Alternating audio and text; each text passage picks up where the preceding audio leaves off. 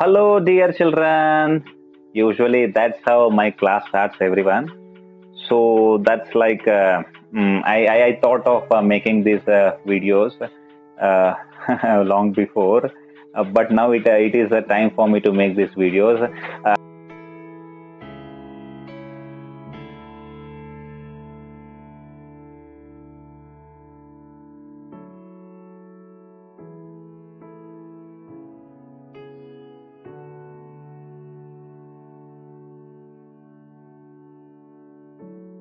Trying to uh, teach uh, to your children.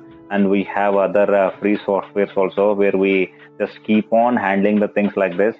Uh, so this is what has become life for us in the pandemic. Uh, so i request all of you uh, to enroll your children so that they learn all the things step by step. And uh, before going to their board exams because uh, when they come to normal classes it may become very difficult to enroll them in Kalpavriksha classes. uh, so that things will be become very easy for them or difficult to easy. So that's what Kalpavriksha stands for. So usually things will be difficult because if education was that easy there is no need of uh, any institution any coaching institution and all. So if from Kalpavriksha classes we take this initiative to make the difficult things into easy.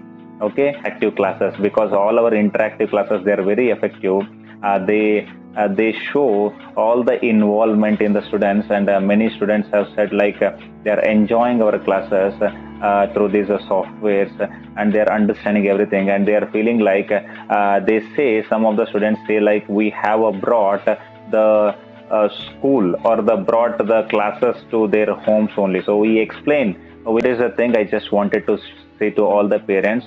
So that's why i once again uh, request i prefer and i suggest and i instruct all the parents to enroll their children so that they learn in this pandemic also. The thing is that Kalpavriksha tagline is step by step. It is not a school or college it is more than a school or college. That is our motto. Okay fine. I hope the parents of mudod will get motivated and enroll all the children of them for their academic excellence into Kalpavriksha classes. Okay thank you